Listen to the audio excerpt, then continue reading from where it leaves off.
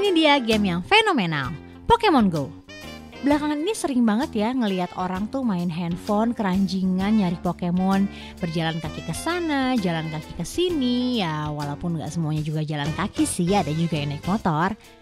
Eh tapi sebentar, gue di sini bukan mau membahas soal tips memburu Pokemon. Tapi ada yang tahu nggak asal muasal game Pokemon? Nah, Pokemon atau Pocket Monster ini dibuat di Jepang, negerinya para gamers.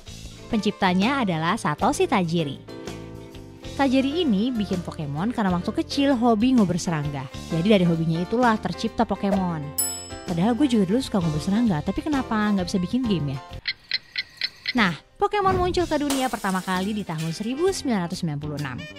Yang pertama dirilis adalah Pokemon Red and Green. Ada 151 jenis monster di generasi ini, termasuk yang paling legendaris adalah Pikachu. Sampai sekarang sudah ada enam generasi Pokemon dan setiap generasinya selalu lahir ratusan jenis baru. Jadi coba bayangkan, ada berapa banyak monster yang sudah beredar sekarang ini. Kesuksesan Pokemon gak cuma berhenti di game aja. Merchandise-nya juga hadir dalam berbagai macam bentuk, seperti anime, manga, game kartu, mainan, buku, dan semuanya sukses merebut hati pemirsa. Tapi kisah perjalanan Pokemon sebenarnya nggak mulus-mulus banget. Dulu Tajiri pernah menawarkannya ke Nintendo dan langsung ditolak.